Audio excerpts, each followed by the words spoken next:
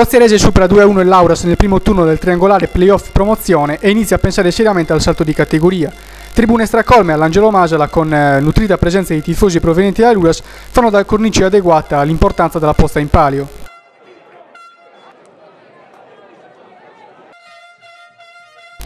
Lo Zerese parte forte, quinto minuto, Faroni riesce a mettere un pallone al centro, destra al volo di Marco Arcadu, la palla sfiora al palo. Al dodicesimo minuto lancio di Appedu, Marco Arcadu supera di forza Cugini, cross al centro e Marcedu di testa colpisce il palo. In panchina nell'Auras c'è solo Onofrio con Scano fuori per squalifica, mentre Sulinas pretende a chiare lettere maggiore concretezza sotto porta. Il Lauras si presenta di rado con pericolosità dalle parti di Amado, qui ci prova Andreoli, ma la palla è smorzata da Gianni e non impensierisce il numero uno di casa. Al 25 Antonio Fantasia, migliore in campo, prova l'azione personale il suo sinistro dai 20 metri termina fuori.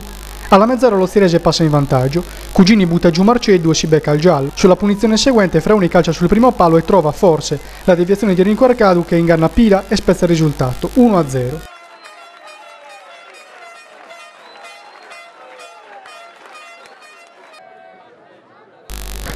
Il Laura si reagisce da grande squadra e coglie subito il pareggio. Gianni commette un vistoso fallo su Andreoli e viene ammonito. Della punizione si incarica Farina, che inventa una traiettoria dai 25 metri di stampo brasiliano che non lascia scampo a Amado, 1 a 1.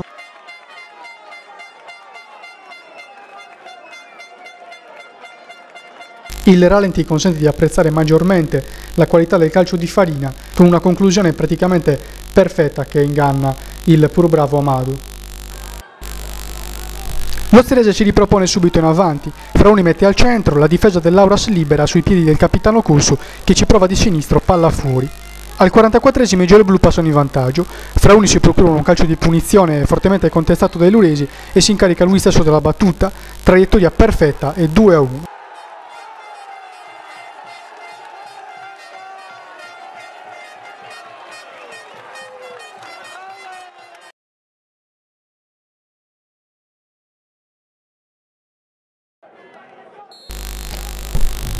A inizio riprese Laura si rischia grosso, in comprensione tra Farina e Marcello Marini si inserisce Arcadu che calcia fuori. Proprio dal centrale bianconero parte una delle azioni più pericolose dell'Auras. Renato Marini vince un contrasto con Enrico Arcadu, scambia con Marielli, doppio passo su Gianni che lo stende al limite dell'aria e rischia anche il secondo giallo, che poteva anche starci. Per una volta Renato Marini dimentica di essere uno specialista da quella posizione e calcia altissimo. I pericoli per il Lauras arrivano ancora dall'auto di destra. Fallo laterale di Antonio Fantasia, Marco Arcadu si libera con mestiere del suo marcatore, ma calcia ancora alto. Al 65 Marielli si incunia tra le maglie avversarie e viene fermato con le cattive da Mallau.